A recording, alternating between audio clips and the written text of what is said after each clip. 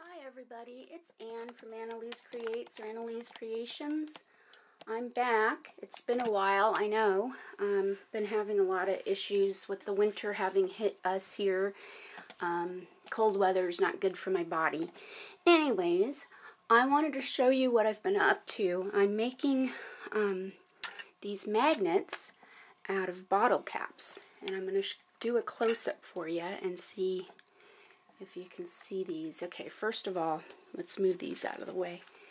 I'm making these bottle caps for my son's um, girlfriend.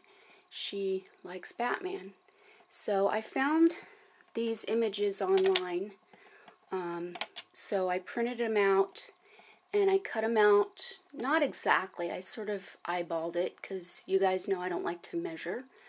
Um, then I used Mod Podge, di dimensional or dimensional magic.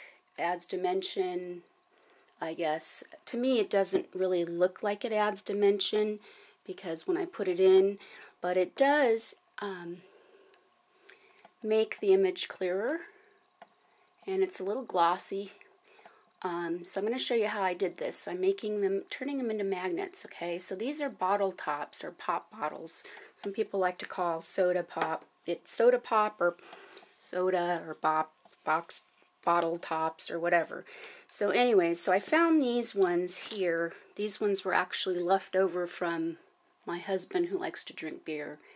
And I thought they were pretty cool. So I'll show you how I did this. Um, I printed it out into like a circle pattern and then I cut around it and then I place it into the into the bottle cap. But um, today I had found these cool Dr. Seuss stickers in um, my sticker box when I was reorganizing them and I thought, oh, these would make cool magnets for somebody. Um, so I thought I'd pick out one, and they're those reflective kind that kind of change when you turn them to a certain angle, see? So I think I got, I don't know where I got these. I think I got them from some promotional magazine for kids or something. Sometimes I still get some stuff in the mail for kids, even though I no longer teach art and things like that. So I like this one with the fish. From one fish, two fish, red fish, blue fish. Oh, here, let's see. Got to keep it in the camera. Okay, so there it is. So I'm going to put it, it pops right in, real easy. You don't really have to glue it down anymore because it already has the adhesive sticky stuff. So I just push it in with my thumb. And then I'm going to place it down. And I'm going to take the dimensional glue and I'm going to fill it up. I hope I'm not running out because I already did a lot. But it comes out kind of milky white and you just got to let it lay flat. Try not to get any air bubbles. Poke out the air bubbles with the nib of the, the glue bottle, the Mod Podge dimensional glue bottle. And what I do is I try to fill it as high up to the rim as I can. Just like this. Yeah, I think I'm running out. Well, it'll be enough to finish this one.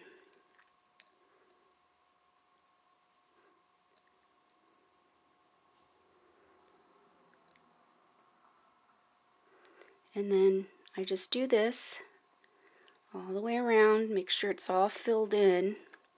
Even though I'm running, I am kind of running out. Let's see any more will come out. Yeah, there's some more coming out. Am I still in frame? Yeah, I am. So, after it's all filled up, you want to make sure that you don't tilt it in any way.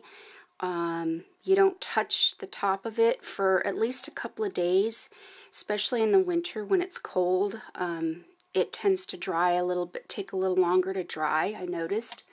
Um, and try not to put your fingerprints when it's still tacky because it will, it will kind of make an imprint of your thumbprint or your finger because I did that to one of them and I ruined it. So that's that. Whoops, that's that. So here it is. So I'm going to let it dry and that's it. And then what I did was is I ordered some of these off of Amazon. They're 100 magnets and I think they're about one inch in dimension, four by 100. Uh, number mag magnet magnet number three, I think it says. But they're really strong magnets. And what I've done with them is some people like to use the hot glue, but I try to avoid it because I tend to burn myself very badly. So this is how it's going to look when it's done. I took my um, hot glue, tacky glue, Aleene's tacky glue, and I glued it to the back of the magnet and I had it rest upside down. And the thing is, what's cool about this is once you put the glue on, you don't have to put that much on. But in order to adhere it, it sticks really well because it's already magnetic. So it'll stay in the spot and you just got to leave it upside down once it's completely dry on this side though. Okay, so make sure the Mod Podge is dried all up and then put a little thing of glue on the back and then the magnet and it'll smush the glue down and it'll leave it nice and flat and it'll glue nicely real nice. And these are very strong magnets. I have a craft mat on here right now and my this is a very old drafting table I'm using and it's got a it's magnetic. So voila look how nice it goes right through it. So whatever you do, don't put it near a computer. You'll ruin your computer. But um, makes really cool magnets for like somebody's refrigerator or if they've got a magnetic whiteboard. Um, so yeah, so that's it. See you guys later. Bye.